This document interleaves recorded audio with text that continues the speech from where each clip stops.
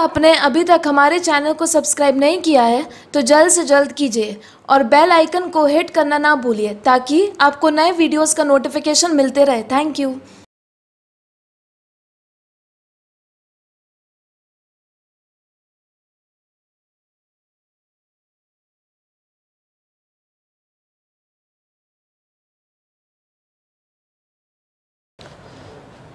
Hello everyone, uh, hope you are doing great. My name is Kumar Tumari and I welcome you on our official YouTube channel bankers Adda Pune तो lecture start करने से पहले सबसे पहले एक announcement था कि अभी तक जो बैंकर सड्डा पुणे ब्रांच है आपके जो लॉ कॉलेज रोड एरंडवाना में है ये अभी तक एसएससी बैंक और रेलवे के बैचेस ऑपरेट करते थे जिसमें इंटरव्यू बैचेस भी लिया करते थे हम लोग जीडी और जो आपका ग्रुप एक्सरसाइज का पार्ट है वो लोग कंडक्ट करते थे। बट अब जो हम लोग आ, कुछ सेपरेट बैचेस भी अलग अलग एग्ज़ाम्स के लिए लॉन्च करने जा रहे हैं। और उन बैचेस में जो पैटर्न होगा उसके लिए मैं आपको एक अनाउंसमेंट कर देता हूँ कि अब जो नई क्लासेस हैं बैंकर से डप Pune bank SSC railway RBI insurance के अलावा कैंपस रिक्रूटमेंट जो सीआरटी के लेक्चर्स होते हैं, आप जानते हैं कि जितने भी आज के समय में इंजीनियरिंग कॉलेजेस हैं या एमबीए कॉलेजेस हैं तो प्लेसमेंट से पहले कंपनी एक टेस्ट कंडक्ट करती है सीआरटी कैंपस रिक्रूटमेंट ट्रेनिंग जिसमें मेनली आपके तीन सब्जेक्ट होते हैं मैथ इंग्लिश और रीजनिंग ठीक है? मैथ में जो पोर्सन होता है एप्टीट्यूड का तो CRT के बैचेस होंगे। CRT के बैचेस के साथ साथ जो एप्टीट्यूड क्लासेस होंगी for M B A CAT BAT और साथ में दो जो आपके एग्ज़ाम हैं, एक यूपीएससी सी सेट के लिए तैयारी कराने जाएगा और दूस, दूसरा जो आपका स्टेट का एग्ज़ाम है M B P S C C TET C SET ठीक है? तो ये न्यू बैचेस हैं जो bankers Adda Pune branch start करने जा रही है apart from the bank S S C railway R B I and insurance तो आप इन बैचेस के लिए भी अपना रजिस्ट्रेशन करा सकते हैं और इन बैचेस के लिए कोई भी कैंडिडेट जो ट्वेल्थ पास आउट है और ग्रेजुएट है वो लोग अप्लाई कर सकते हैं। ज़्यादा डिटेल के लिए जो हमारा ऑफिशियल इंक्वायरी नंबर पे, उस नंबर पे आप कॉल कर सकते हैं seven three five zero two double eight double five three और लोकेशन आपको मालूम ही है कि ये जो ब्रांच है लॉ कॉलेज रोड एरंडवानी में। तो अगर आपको कोई इंक्वायरी करनी है तो इंक्वायरी नंबर पे जो गिविन होगा लिंक में दे दिया जाएगा, उस पर कॉल कीजिए, या फिर आप ब्रांच को भी विज़िट कर सकते हैं, ठीक है? अब बात करते हैं हम आज के वीडियो की। तो आज के वीडियो में हम लोग जो लेक्चर शूट करने जा रहे हैं, वो जीडीपी जो रिवाइज्ड फोरकास्ट दिए गए हैं, उस पर हम लोग बात करने जा रहे हैं। तो आप जानते हैं कि टाइम टू टाइम जो वेरियस ऑर्गेनाइजेशंस हैं, जैसे हम वर्ल्ड बैंक की बात करने जाएँ आईएमएफ एशियन डेवलपमेंट बैंक ठीक है? या मूडीज़ की हम बात करने जाएँ जो क्रेडिट रेटिंग एजेंसीज है एसबीआई आरबीआई तो ये टाइम टू टाइम अपना एक जीवी जो इंडिया का जीडीपी जो फोरकास्ट है, वो टाइम टू टाइम पब्लिश करते रहते हैं। तो अभी आप जानते हैं कि इस समय पूरा वर्ल्ड इकोनॉमी जो है, वो स्लो डाउन कंडीशन को फेस कर रहा है तो इंडिया में भी उसका इम्पैक्ट है। तो टाइम टू टाइम जो जीडीपी ग्रोथ रेट है वो इंक्रीज ना होकर के डिक्रीज होता जा रहा है, ठीक है? तो जो वेरियस ऑर्गेनाइजेशन ने अभी रिसेंटली रिपोर्ट दी गई है, उनका ये पार्ट हम लोग देखते हैं। तो सबसे पहले जो अपडेशन है, वो है आपका मूडीज़ का। और ये चीज़ याद रखिएगा कि ये जो हम जीडीपी रिवाइज्ड ग्रोथ फोरकास्ट करने जा रहे हैं, ये याद रखिएगा, ये रिवाइज्ड ग्रोथ फोरकास्ट है। जीडीपी रिवाइज्ड ग्रोथ फोरकास्ट ये आपका जो हम लिखने जा रहे हैं 19 और 20 के लिए, ठीक है? तो सबसे पहले जो हम करने जाएँगे रिपोर्ट वो मूडीज़ के पॉइंट ऑफ़ व्यू आप जानते हैं कि मूडीज़ जो है वर्ल्ड का largest credit rating finance company है ये। लार्जेस्ट क्रेडिट रेटिंग एजेंसी है, जिसका जो हेडक्वार्टर है न्यूयॉर्क यूएसए में है। इसका हेडक्वार्टर याद रखिएगा। It is located in to New York USA ठीक है?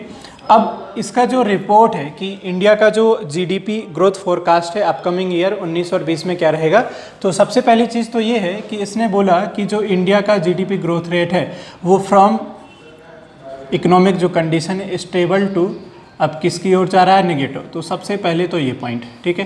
कि जो इंडिया की इकोनॉमिक कंडीशन है, भारत की जो आर्थिक कंडीशन आर्थिक अर्थव्यवस्था की, वो अब स्टेबल से, ठीक है? जो स्थिर अवस्था से अब ये नकारात्मक, यानी कि निगेटिव की ओर जा रही है। दूसरा मूडीज़ ने 19 और 20 के लिए हमारा फ़िज़िकल डेफिशिट भी इन्होंने रिप्रेजेंट किया है, कि जो हमारा बजट डेफिशिट होगा, वो भी इन्होंने बोला है कि जो इंडिया का बजट डेफिशिट होने जाएगा, वो 3.7 परसेंट ऑफ़ जी ठीक है?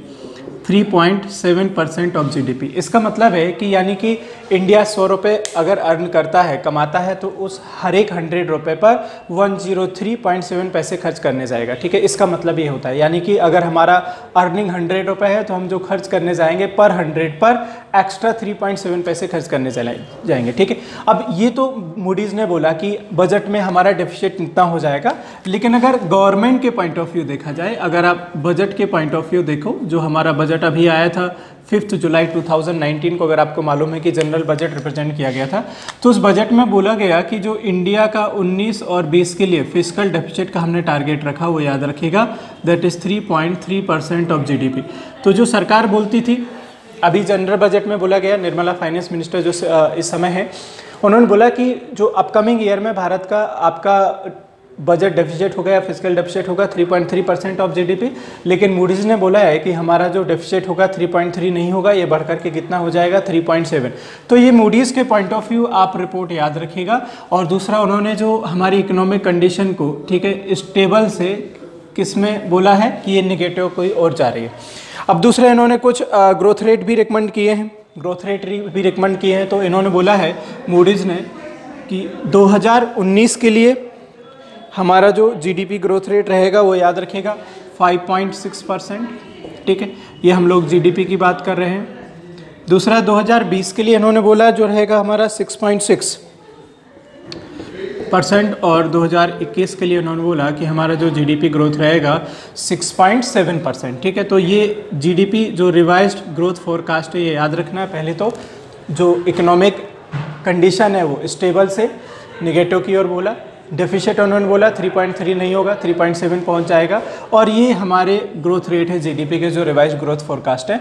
तो आगे जाके कंडीशन कुछ बेटर ज़रूर है कि हाँ इंडिया आगे जा करके ठीक है डेफिनेटली स्टेबल होगा। बट फ़िलहाल जो कंडीशन है, वो स्टेबल से हमारी किसकी ओर जा रही नेगेटिव तो ये जो रिकमेंडेशन हमने रिपोर्ट लिखा था मूडीज़ के पॉइंट ऑफ़ व्यू अब नेक्स्ट हम बात करते हैं एसबीआई तो जो एसबीआई की रिसर्च एजेंसी है इकोनॉमिक रिसर्च एजेंसी है SBI के पॉइंट ऑफ़ व्यू अगर देखा जाए तो SBI ने सबसे पहला तो ये, उन्होंने बोला कि हमारा जो 19 और 20 के लिए 2019 और 20 के लिए अगर देखा जाए तो जो जीडीपी फोरकास्ट होगा, वो 6.1 परसेंट होगा। 6.1 परसेंट और अगर आपने यही देखा हो तो ये जो सेम है सिमिलर गिवन बाय आरबीआई ये आरबीआई में भी दिया गया था। आरबीआई की फोर्थ बाई मंथली पॉलिसी तो ये जो अभी अक्टूबर में four by monthly monetary policy आई थी, उसमें भी आरबीआई ने जो इंडिया का जीडीपी ग्रोथ रेट रिकमेंड किया था 6.1 परसेंट और जो अभी एसबीआई का इकोनॉमिक रिसर्च टीम है उसने भी इंडिया का जो जीडीपी ग्रोथ रेट है 19 और 20 के लिए कितना बोला है सिक्स परसेंट लेकिन उन्होंने बोला है कि जो एसबीआई ने कि इंडिया का जो सेकेंड क्वार्टर सेकेंड क्वार्टर तो पहला क्वार्टर अगर हम बात करें तो आप जानते हैं कि अप्रैल से आपका फाइनेंशियल ईयर स्टार्ट होता है तो अप्रैल, मार्च, जो अप्रैल हाँ मार्च और अप्रैल, मई, जून तक आपका फ़र्स्ट क्वार्टर होगा। सेकेंड क्वार्टर में हम लोग कहाँ से काउंट करेंगे? जुलाई, अगस्त और सितंबर, ठीक है? जो फाइनेंशियल ईयर शुरू होता है आपका अप्रैल से तो अप्रैल हो गया, मई हो गया, जून, फ़र्स्ट क्वार्टर तक और सेकेंड हो गया, जुलाई, अगस्त, सितंबर। तो इस क्वार्टर में जो जीडीपी ग्रोथ रेट रहने वाला है, ये इन्होंने बोला है कि कितना पहुँच जाएगा? 6.2 तो ये बहुत ही कम जीडीपी ग्रोथ रेट है। सॉरी 4.2 आई अगेन रिपीटेड इन्होंने बोला कि जो इंडिया का जीडीपी ग्रोथ रेट होगा 4.2 तो ये बहुत ही कम है। और इसके लिए उन्होंने एक वर्ड यूज़ किया that is called eco wrap ठीक है? तो ये हमारी स्लो इकोनॉमिक डाउन कंडीशन है और ये आप याद रखेगा सेकेंड क्वार्टर का। अगर आरबीआई के पॉइंट ऑफ़ व्यू बोले तो उन्होंने दिया था फ़र्स्ट क्वार्टर ठीक है? तो इन्होंने भी इसी तरीके से बोला था कि इंडिया का जो जीडीपी ग्रोथ रेट रहेगा, वो याद रखिएगा। इन्होंने बोला था हाउ मच फाइव परसेंट तो अगर आरबीआई के पॉइंट ऑफ़ व्यू हम क्वार्टर की बात करें तो आरबीआई का आप जानते हैं जो अकाउंटिंग ईयर है, वो शुरू होता है जुलाई से। सरकार का जो शुरू होता है वो अप्रैल से शुरू होता है, ठीक है? तो सरकार के point of view second quarter यहाँ पे माना जाएगा और आरबीआई के पॉइंट ऑफ़ व्यू अगर हम यहाँ पे लेंगे तो फ़र्स्ट क्वार्टर मतलब जुलाई अगस्त और किसकी बात कर रहा है? सितंबर ये आरबीआई के पॉइंट ऑफ़ व्यू है, क्योंकि आरबीआई का जो अकाउंटिंग ईयर होता है वो जुलाई से जून होता है और गवर्नमेंट की अगर हम बात करें तो अप्रैल से मार्च होता है, ठीक है? तो ये दो जीडीपी ग्रोथ रेट हैं जो किसके द्वारा दिए गए? मूडीज़ के द्वारा और दूसरा किसके द्वारा? एसबीआई के द्वारा। और बाकी आप इसके द्वारा जानते हैं। ठीक है, कि एडीबी ने ऑलरेडी रिकमेंड किया था कि हमारा जो जीडीपी ग्रोथ रेट है, पहले सेवन परसेंट बोला था 19 और 20 के लिए। लेकिन उन्होंने बोला कि अब जो हमारा जीडीपी ग्रोथ रेट रहेगा 19 और 20 के लिए वो याद रखेगा, वो रहेगा हमारा 6.5 परसेंट ठीक है, ये जीडीपी फोरकास्ट है। और लास्ट में हम एक और कंपनी की बात कर लेते हैं, जो एक और क्रेडिट रेटिंग कंपनी है इंडिया की largest that is the CRISIL तो क्रिसिल ने जो बोला है कि 19 और 20 के लिए हमारा जो जीडीपी ग्रोथ रेट रहेगा, वो याद रखेगा। 6.3 परसेंट ठीक है? तो पहले तो उन्होंने बोला था कि सेवन होगा। सेवन के बाद फिर कट किया 6.9 किया उसके बाद फिर कट करके इन्होंने कर, कितना कर दिया? 6.3 परसेंट। तो ये क्वार्टर अगर ग्रोथ रेट में बात करें तो एसबीआई का याद रखना। सेकेंड क्वार्टर के पॉइंट ऑफ़ व्यू 4.2 और आरबीआई के फ़र्स्ट क्वार्टर के पॉइंट ऑफ़ व्यू हम बात करेंगे तो कितना? फाइव परसेंट और दूसरा मूडीज़ का जो स्टेटमेंट आया मूडी का कि आ, इंडिया का जो इकोनॉमिक कंडीशन होगा वो स्टेबल से किसकी ओर जा रहा है? निगेटिव की ओर ठीक है? तो ये एक वर्स्ट कंडीशन होगी डेफिनेटली ये स्लो इकोनॉमिक डाउन है। और स्लो इकोनॉमिक डाउन में आप ये जानते ही हैं कि इन्फ्लेशन रेट आपका हायर होता है और साथ में आपका अनएम्प्लॉयमेंट ग्रोथ रेट भी हायर होता है, ठीक है? तो ये जितने भी आपके जीडीपी ग्रोथ रेट हैं, जो वेरियस ऑर्गेनाइजेशन के द्वारा रिकमेंड किए जाते हैं, इन सबको आप एक साथ याद करिए, लेकिन प्रयास कीजिए कि ज़्यादा से ज़्यादा आप इनको कोरिलेट करके याद करते रहें, ठीक है? और बाकी जो बैचेस के बारे में मैंने बताया कि अगर आप कोई भी आपका फ्रेंड है जो इस समय इस इंस्टीट्यूट में जो बच्चे पढ़ रहे हैं आपको कोई दूसरा कोई फ्रेंड है जो एम बी सेट मेट या कैट की तैयारी करना चाहता है या U P S C M P S C K C SET की तैयारी करना चाहता है, ठीक है?